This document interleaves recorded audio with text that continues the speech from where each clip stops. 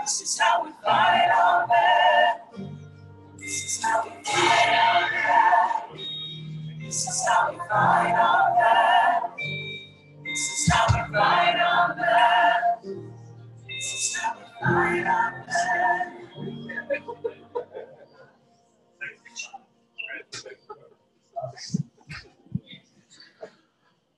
That's how we fight our battles.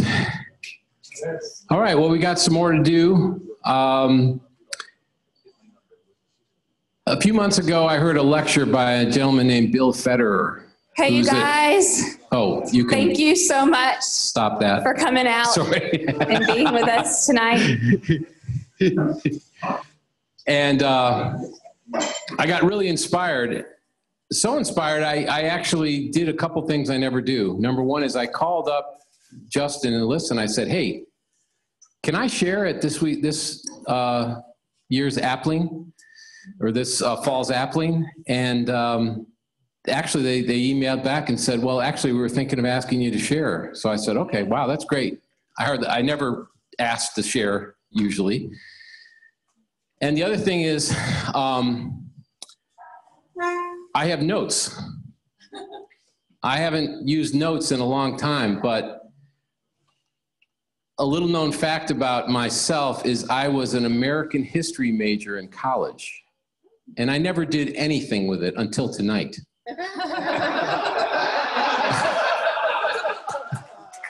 So if I'm a lousy professor, I haven't had much practice. But it was on my heart to share a little bit about God and country and how wonderful this country is that we have the freedom to pursue our freedom in Christ. And something that's very much disturbed me is this rewrite of American history about the founding of our country and the sort of trashing or rewriting of our founding fathers, portraying them as something that I don't believe they were. It's called deconstruction. It's a, it's a, it's a powerful technique that's used in sales and other places where you, whatever a group you want to attack, you, you personally attack them and discredit them so that you can get people in a neutral position about something that then you can introduce your ideas about what something is. So I wanted to share a few things about our country's founding and some of the miracles that God did in our founding of our country. If you don't realize this, the history of man, about 6,000 years, has mostly been a quest for one person or group of people to rule the world. Kind of sounds like the fallen nature of man and the prince of this world. America is a very unique exception to this. Israel also is an exception. We may talk a little bit about that. But what happened once in 6,000 years may not happen again. Is a quote.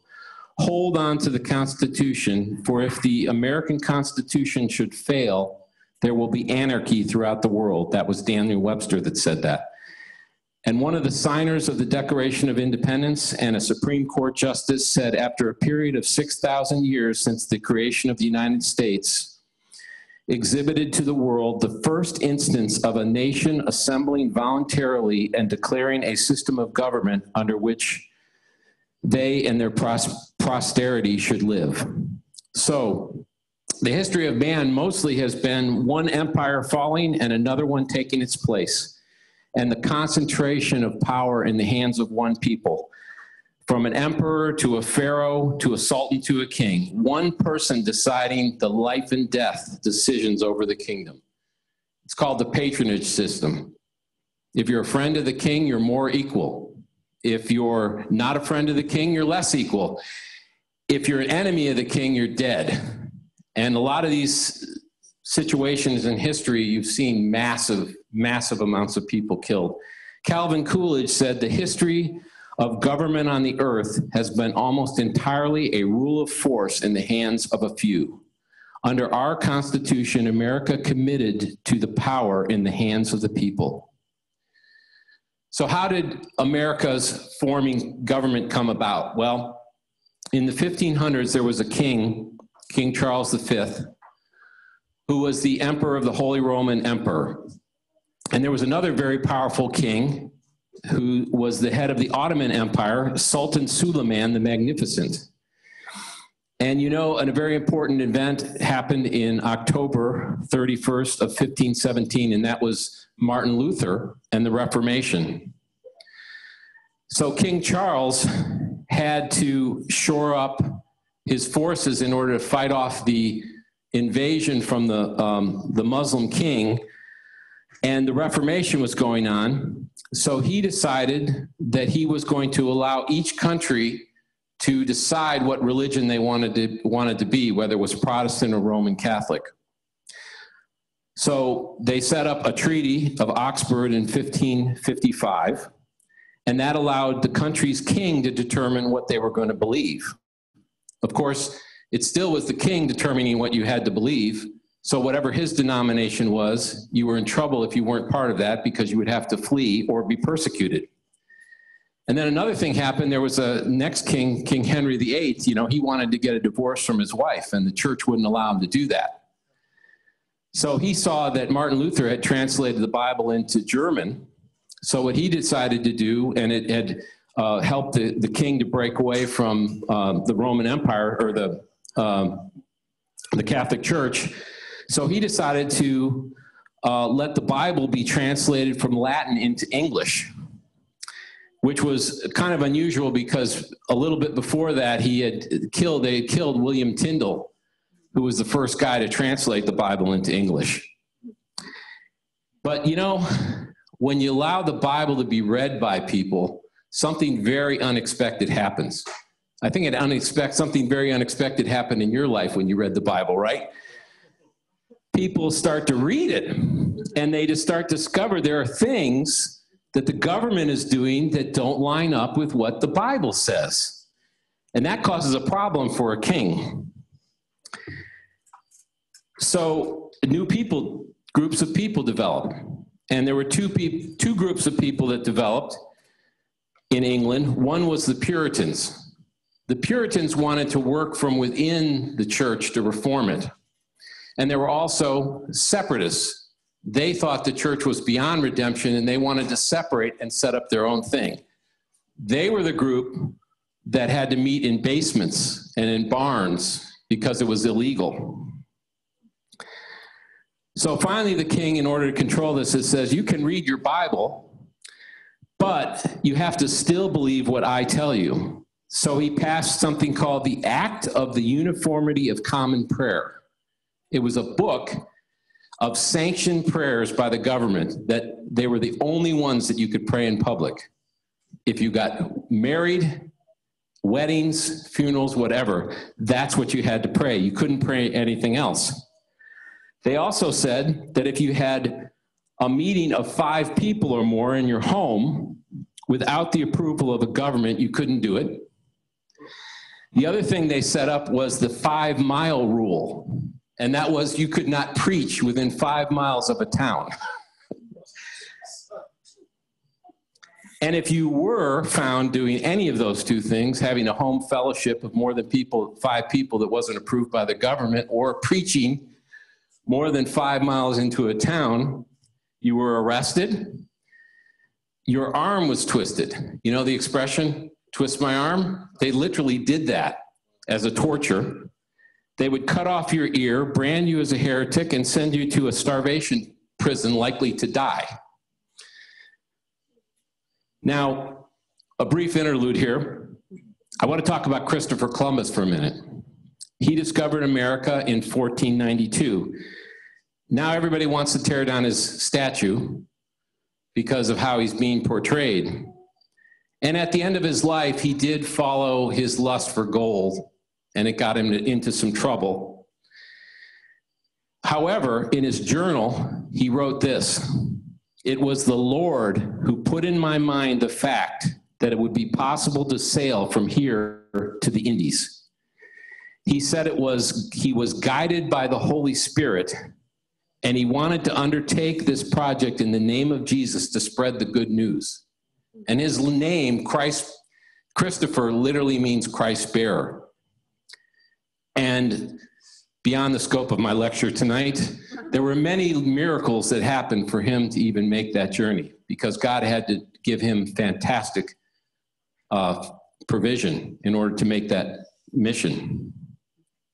But one of the groups that was persecuted so severely was the Pilgrims. And they decided to go to America to, uh, for freedom issues.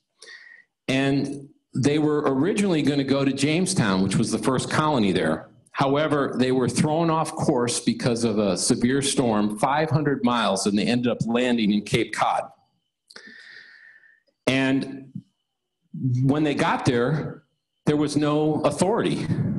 There was no king, there was no king representative, there was no government. So they did something very unique. They formed something called the Mayflower Compact. There was no king in charge, so they had to say, who is going to be in charge? Well, they came up with this incredible idea and they said, We, in the presence of God, covenant ourselves together into a chief body politic to enact and um, to enact laws that shall be thought to be most meet, unto which we all promise due submission. This was a radical idea because the history of the world is a king who gets his rights from God, supposedly, and then he imposes on the people. This was a total flip. This was God giving rights to people who then would choose who they would uh, have to represent them. It was a total reversal in that. It was we, the people, everybody in the congregation involved with the ministry and with government. It was using their church model to have as their government model. And one really interesting thing is when King James translated the Bible, there's the word ecclesia, which we know means literally the called out. He insisted that it be translated church because the church model was the king in charge of the church and everybody else was subject to him. William Tyndale had translated that word congregation. And the reason he translated congregation was because everybody was supposed to be involved in the ministry. And it was not supposed to be a top down organization. Pretty interesting. There were many miracles that happened with the pilgrims. The first one was they were in a terrible storm on the way over here in the Mayflower, and their mast broke and they were in peril of um, losing the ship and all of their lives. And one of the believers remembered they had a printing press on board. And the printing press had one of these huge screws.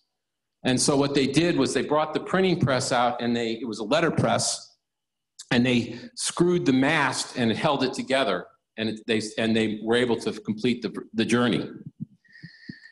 Then, when they got there in this place that they were blown off course, and they settled in 1620, they found that four years previously, the area that they were in and had, had, had settled in was occupied by one of the meanest, fiercest tribes to the white man.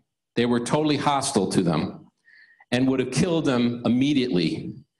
But four years later, earlier, than when they landed, a strange disease killed every man, woman, and child in the tribe. And the neighboring tribes shunned the area, convinced a supernatural spirit had destroyed these, this tribe of Indians. That was kind of interesting. The first year was very tough, and almost half of them died. But God sent an Indian who had been associated with whites in New English called Squanto and he introduced them to other favorable Indians to them, like Chief Massaquot. And it was them that taught them how to plant corn and how to live off the land. And that's the origin of the first Thanksgiving when they all got together, and you all remember from grade school the picture of the Indians and the races, and it was like a four day festival. It's pretty cool. Another interesting note was that the first type of their government they tried or uh, in uh, the Pilgrims tried was, was uh, socialism and, commun- and communism. they all pooled every resource together, including they all washed their clothes together. That's how much they did it, including all the food. And there was no private property. And they tried that experiment for seven years and it failed. Then they switched to capitalism and they each got their own private land and they began to thrive.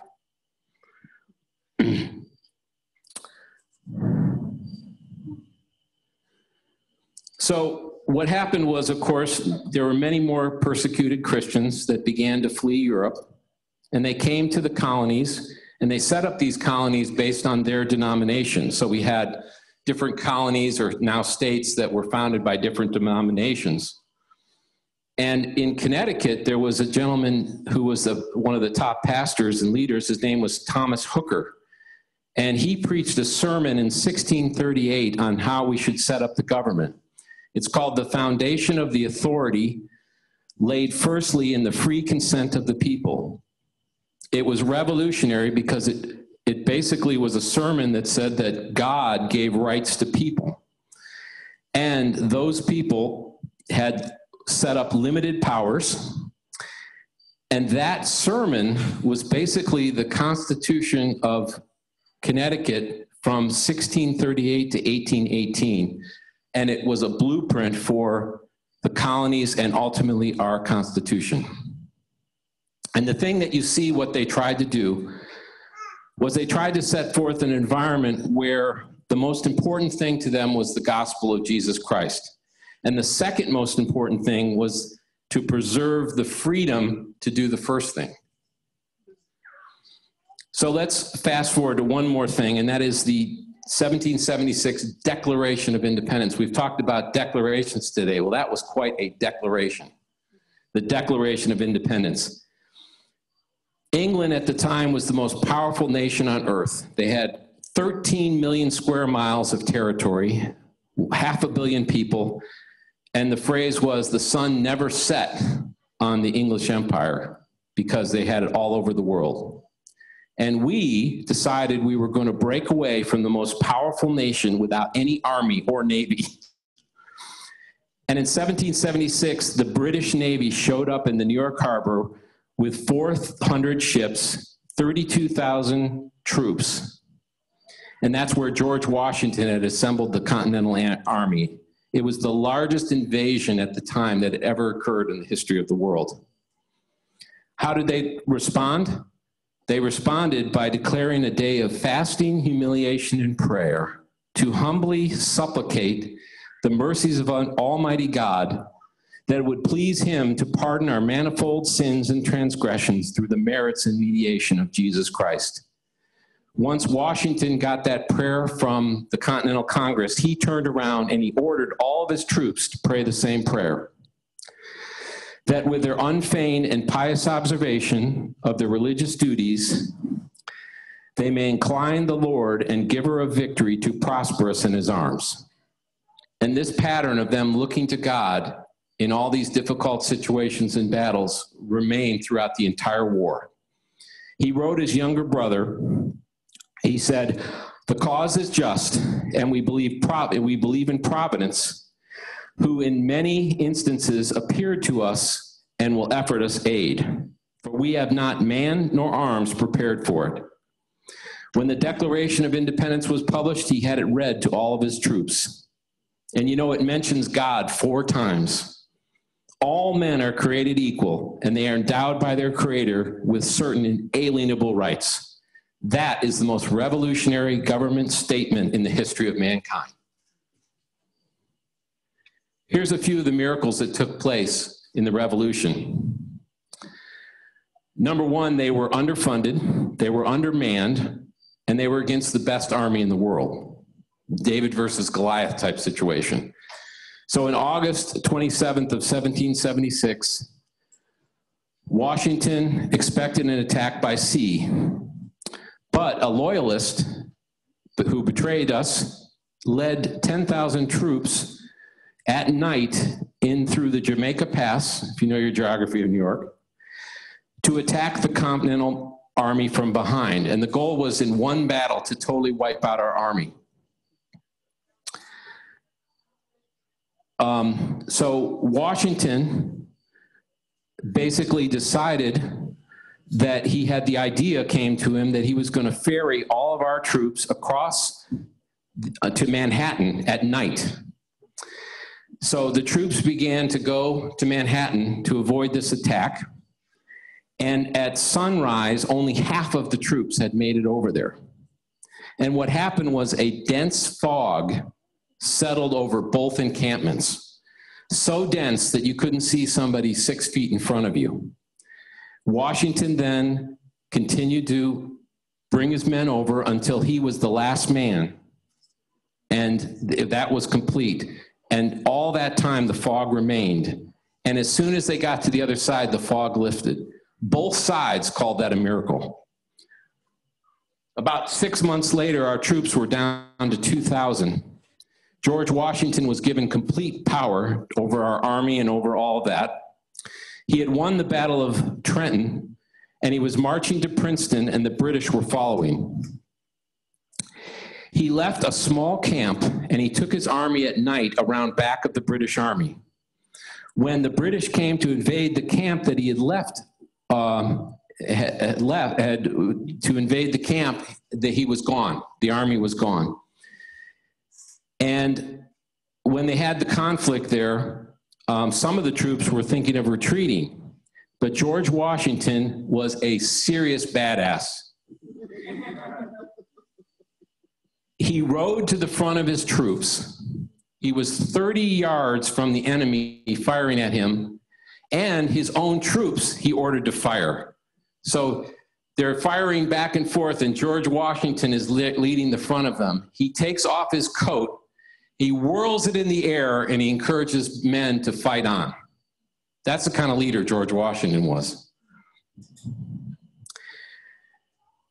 President of Yale, which was originally founded to train ministers, Ezra Stiles said, Who but God could inspire George Washington for those battles? Many days of Thanksgiving were declared by the, this response. In uh, battles that took, down, took place pretty close here, the Battle of Cowpens, which was near the end of the war in 1781, the army was back, our army was backed up to a river, and the British were attacking. So we had to cross the river. When we crossed the Catawba River with our troops, two hours later, there was a flash flood, and the British could not follow. This happened three times. It happened when they were crossing the Dan River and the Yadkin River. And each time our army eluded Cornwallis, and each time Cornwallis used valuable supplies to try to uh, follow us after these floods. And when they came to the coast and they were going to refuel and get all their new supplies, was the same time that the French came to aid us. They blocked the ships that were trying to supply Cornwallis, and they had to surrender. Pretty amazing. Washington wrote, the commander in chief earnestly recommends troops not on duty that they should afford with gratitude of heart which recognition of such a stunning interposition of providence. This is just a small sample in American history that will show you that this was a nation, one nation under God, and how miraculous it is that we have the freedoms that we enjoy. So, what happened to the men that signed the Declaration of Independence? They pledged their lives, their fortune, and their sacred honor Ben Franklin said, if we do not hang together, we're going to hang separately. Of those 56 men who signed the Declaration of Independence, nine died of wounds and hardships during the war. Five were captured and imprisoned, and in each case, the, with brutal treatment. Several lost wives, sons, and entire families. One lost his 13 children. Two wives were brutally treated. All were at one time or another victims of manhunts and driven from their homes. Twelve signers had their homes completely burned. 17 lost everything they owned, yet not one defected or went back on his pledged word. Their honor and the nation that they sacrificed so much is still intact. So today we thank God for this nation. Righteousness exalts a nation. Our Constitution has allowed us to grow as a country, to get past slavery and other injustices. And we have become the most prosperous nation on the earth. Today, we must not surrender this. America is not perfect, and it's not a perfect form of government. There is one perfect form of government, and it's coming soon, and that's a theocracy. A theocracy is where God is all in all. That's going to be a good place to live. total, total freedom. I mentioned Israel and how unique they were as well. Before Israel got a king, which God didn't really want to give them, but they wanted to be like the other nations, they were ruled by judges, and the Levites taught the law to them. And in Israel, for a while and at times, everyone had equal justice and there was incredible tolerance. The promised land was blessed. They had private property. They had no police force. People want to get rid of the police force. They had no police force. They had no standing army. All men were armed. They had no prison. There was swift punishment. There was no, there was a bureaucracy free welfare system. And there was a system of honesty in commerce. The only way that could have happened was because the Levites taught the law to the people. And then the people were able to enact those wonderful blessings with no, when the, when the Levites did not teach the law, that's when things fell apart in that particular country. So tonight, I wanted to honor America and listen to this song.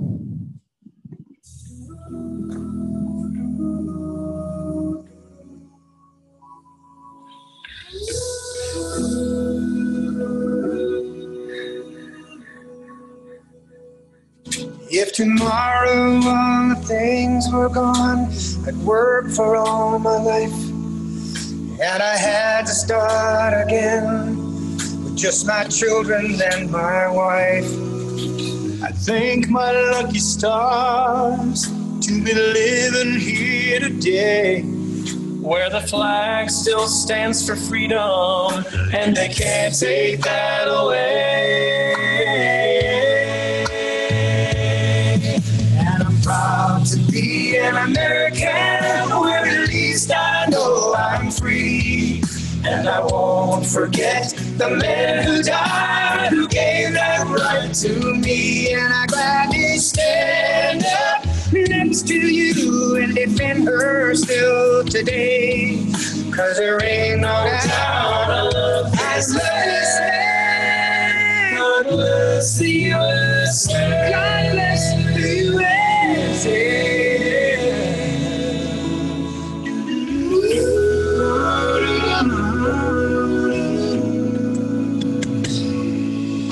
From the lakes of Minnesota to the hills of Tennessee, across the plains of Texas, oh, from sea to shining sea. From Detroit down to Houston, New York to LA, where there's pride in every American heart, and it's time we stand and say.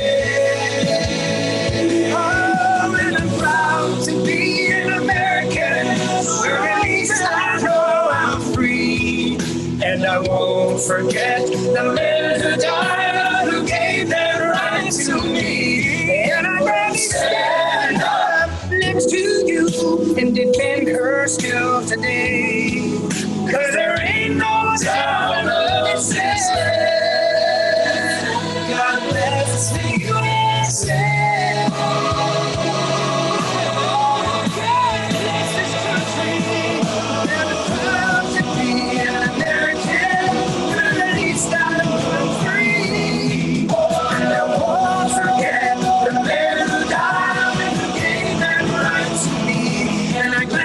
stand up next to you and defend her still today. Cause there ain't no doubt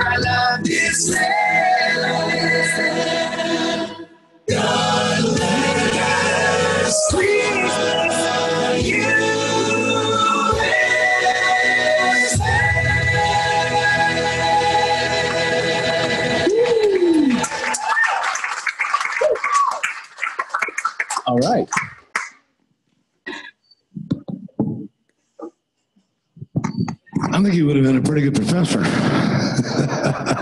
Why don't you stay in the middle here?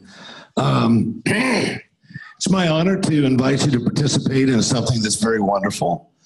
Um, God says, "Eye hath not seen nor ear heard." See, the things that were entered into the heart of man, the things which God hath prepared for them. And in David's life, the words that were you heard spoken over him was that he's a faithful man. And God has put things in his heart to do.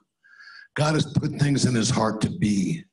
And part of my ministry through the years has been to see the things that God sees in people. Sometimes it's before they see it, but most of the time, He's already been working and seeing things and knowing what uh, what it is. And and and I've, I value David's friendship and his um, his ministry uh, very dearly, and we become very close friends. Um, it was really about a year ago, David, that we had a discussion at a very nice place. We were- at the Flying Saucer, and um, they serve beer there. Anyway, when God gives you the go, you get the go, man. Doesn't matter where you are, what you're doing, how you're doing it. So, ordination of the Christian ministry is not a formalized thing that we have to wear robes or things like that, but it's it's it's a commitment of God for a person. Um, today, we wore war to warfare with the prophecies that went on us, didn't we, in our hearts? And uh, it's a very special thing, a very honorable thing. And uh, I've asked Sheila and Don to participate with us, and um, uh, it's a joyful time. But I would, I, I'm going to have to correct you something you said a little bit earlier. David, God wants you to swing for the fences. We need you to swing for the fences. We need a home run hitter, and that's what you are. So Sheila, I'd like you to have a prayer of thanks first.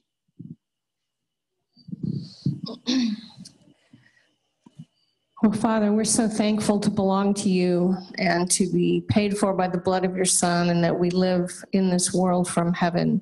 Thank you for this body, this family present here at this time, and um, most especially thank you for our brother David and for the good work that you've started in him, and that you're fulfilling in him, and that you're expanding in him in the, the years ahead.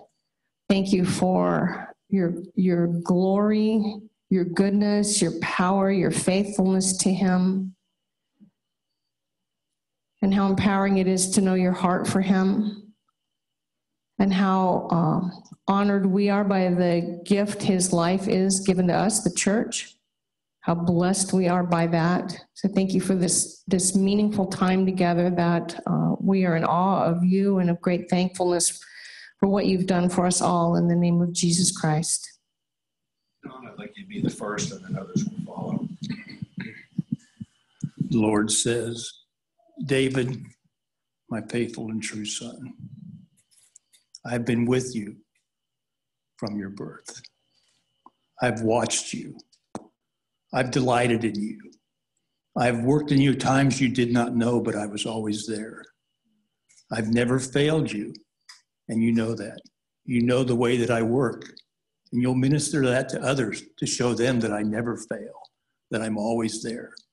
And you will lead people to me in my love and my goodness and my faithfulness because you're a faithful son. So continue to look to me all the days of your life. I will be with you always and lead you and guide you. So hear my voice and obey.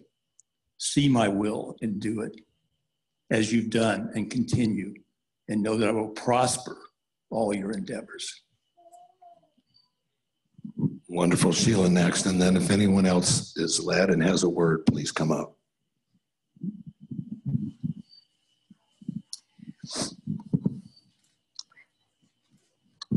I have called you and I have poured my goodness into you.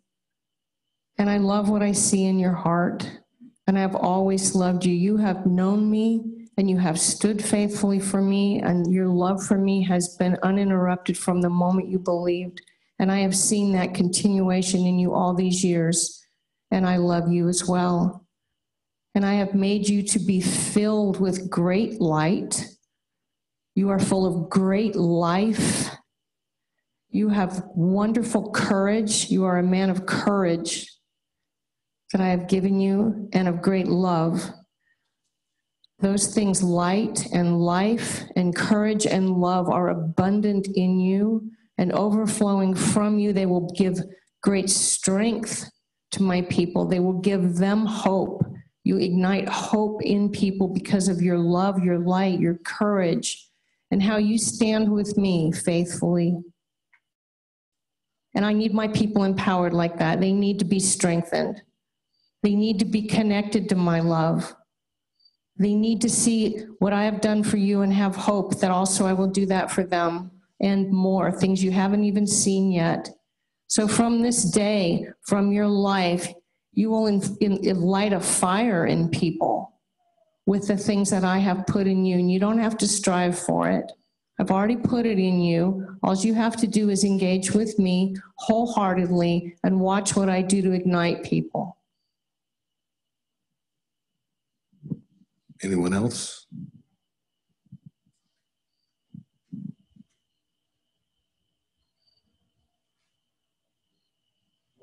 Whosoever who has a word.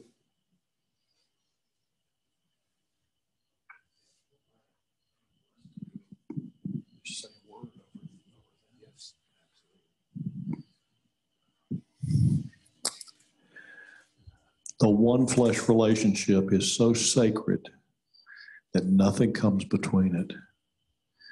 Never has any one person been ordained where it wasn't spiritually connected because of the sacredness of the one flesh marriage relationship. It can't be separated. Let no man put asunder. God is recognizing his giftedness. All of us are deeply gifted. Certain gifts at certain times are to be recognized publicly to those being served. But there's a certain sacredness of ordination in these words that were spoken over him that are just as much, I believe, over you. I, I'm careful because this is something that God has set and ordained in our brothers and sisters here. But there's his blessing on your marriage meant that there spiritually God can't tell where one of you starts and the other one stops.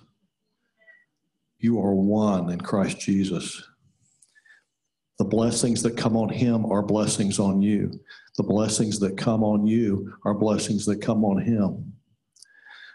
Most of what was said tonight, I believe, on your husband's life is also spoken over your life, just as much spiritually in Christ. But it was a sacred calling that he be recognized in particular tonight. So take that for what it is, I believe. Okay? Father, I thank you for this wonderful couple and their marriage and their union. I thank you for gifts and callings in the body. That you make no mistakes, Father, in the sense of not only giftedness that you give each of us, but a sense of mission and assignment that never grows old. Some of those assignments are a couple of minutes. Some of those assignments last until we breathe our last breath. But that you always have the provision necessary to carry out the missions to use the gifts. Gifts are given so that missions will be carried out, and He'll always give you the provision. He's brought you this far, there's no reason why he would stop ministering to you as a couple. I minister a freshness in mission and assignment. I minister a youthfulness as if it was the day you walked down the aisle together. I minister a stirred sense of Holy Spirit youthfulness in your eyes, in your vision. Your greatest days in ministry are ahead, not behind. No matter how long you have. And the Lord could return tonight, and all of this will be superseded. But I just minister a sense of purpose and direction I reboot the unity of your marriage agreement. That passion and romance would be deepened and youthful and dynamic. That your voices would be, like we heard tonight from each of you, your voices would be full of the energetic power of the Holy Spirit. And that your lives would be a witness to the other marriages here, the other singles here, that we are not hopeless people. We are people with purpose and mission. It's not about drama, it's not about poetic words. It's just about day to day being faithful. And your faithfulness was recognized here tonight by these wonderful ministers that stand before us. And we're honored to be with you. We're honored to honor you. And we thank you for this night in all of its simplicity and all of your glory, Father. Amen and amen. Yeah.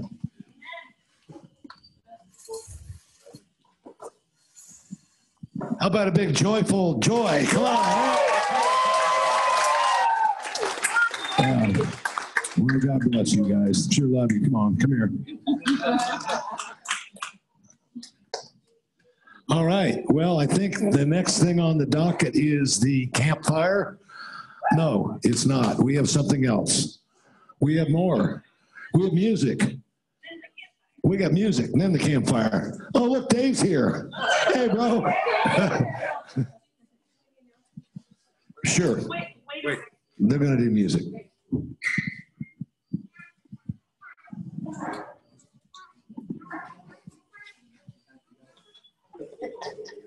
I saw that.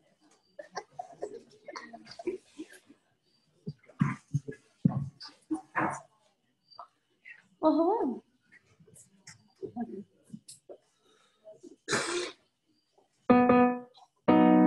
It works. This is awesome. Well, thank y'all for. Thank you. Uh, we sang this song in our small group earlier, so if anybody feels inspired to pick up another microphone and come sing, please do, or just sing out loud from wherever you are. Um, I need to move this, sorry.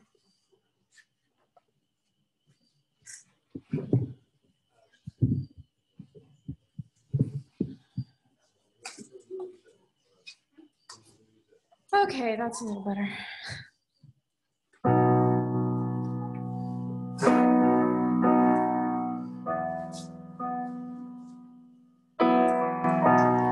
So I'm going to start with the chorus just so y'all know how to sing it. It's really easy. It just goes,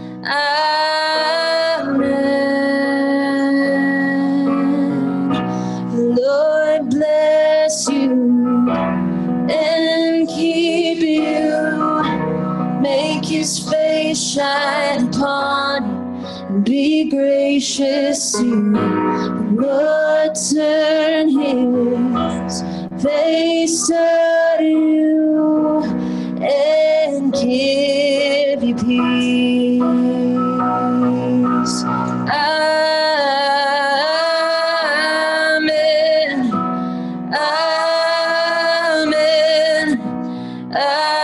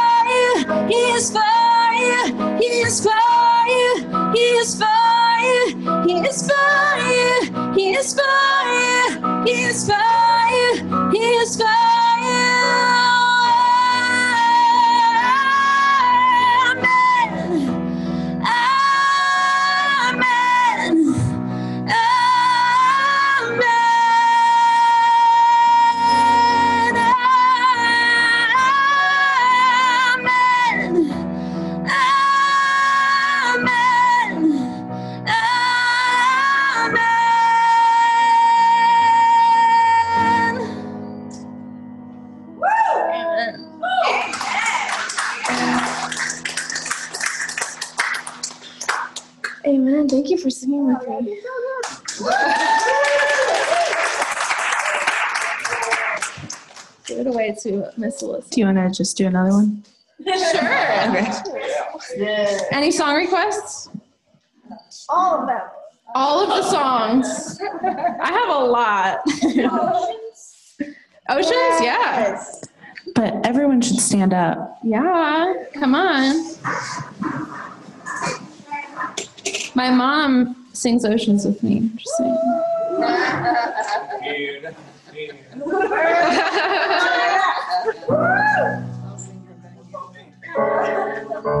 Paula can sing too.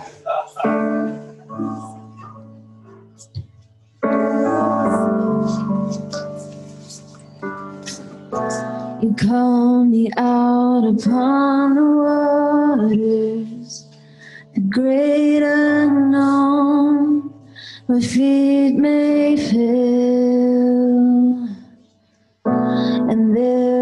Find you in the mystery, in oceans deep. My faith will stand.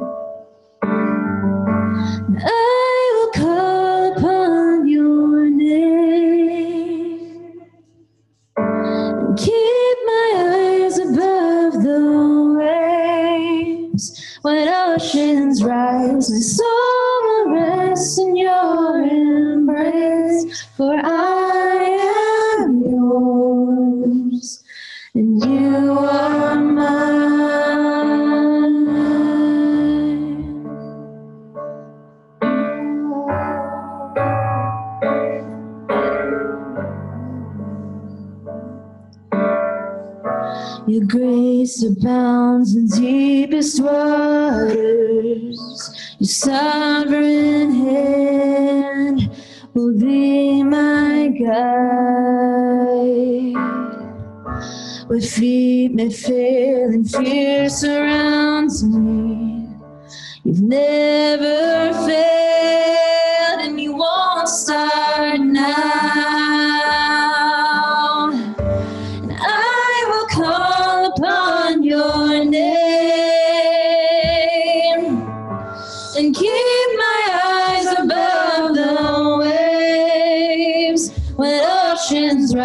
my soul will rest in your embrace. For I am yours,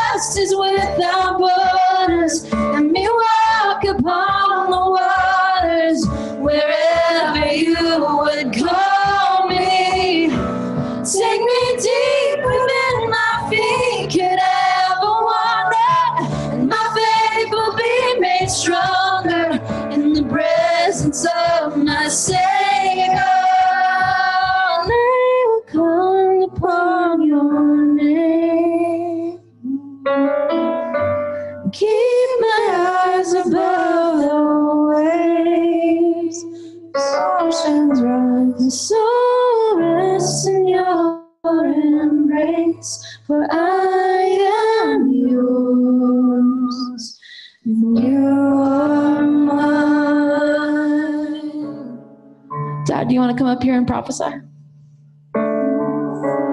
My children, I have so much joy and confidence in you that you will never fail, that you will be able to express my love in every situation. For truly, I have called you with an authority to show the world. Be strong and courageous, to hold forth in the intimate love that I have for you. A one on one kind of love that will be something that builds gold in the future.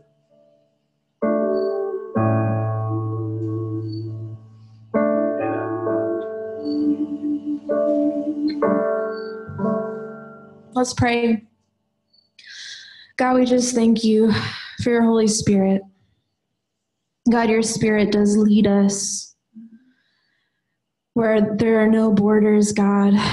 Where we're out on the waters. We can't depend on anything, God, but you. God, you are the reason that we're all here in this place. You're the reason we're all here and able to sing. You built us within the womb. You gave us vocal cords, God. what a blessing that we're able to speak your word, your words of life, and that we're able to sing them together. God, we just thank you for the incredible way that you lead us and that we can just go to you with all things. And God, we pray all this in the powerful name, Jesus Christ. Amen.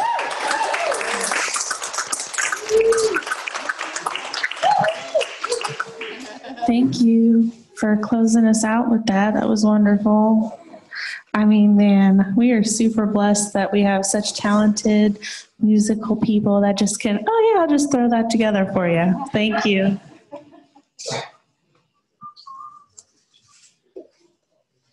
All right. Well, we do have a campfire set up. Thank you, Sean. And there's more stuff out there. Um, breakfast team knows who they are. I need the beverage team and the PM, cleanup team to help me clear all this stuff. If you leave your stuff here, we will move it. See you guys um, at 8 a.m. for breakfast. Um, if you want to eat, be there by 8:30, and the live stream will start at 8:45. Thanks for joining us. We love y'all, and we'll start the meeting at 9. Okay? Thanks. Have a good night, y'all.